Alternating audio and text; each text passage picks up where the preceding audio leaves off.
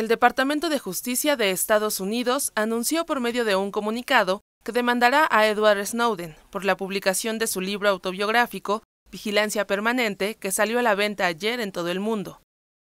Según el gobierno norteamericano, el libro viola los acuerdos de no divulgación que firmó con la CIA y la Agencia Nacional de Seguridad.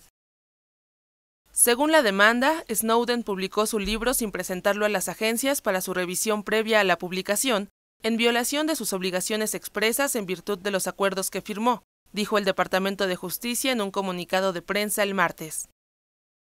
El comunicado del Departamento de Justicia norteamericano especifica que no intenta prohibir la venta del libro, sino que buscaría recuperar cualquier ganancia que Snowden obtenga de este. La información de inteligencia debe proteger a nuestra nación, no proporcionar ganancias personales dijo G. Zachary Terwilliger, abogado de los Estados Unidos para el Distrito Este de Virginia.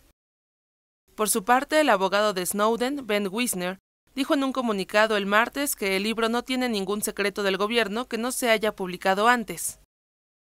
El señor Snowden escribió este libro para continuar una conversación global sobre la vigilancia masiva y las sociedades libres que sus acciones ayudaron a inspirar, dijo Wisner.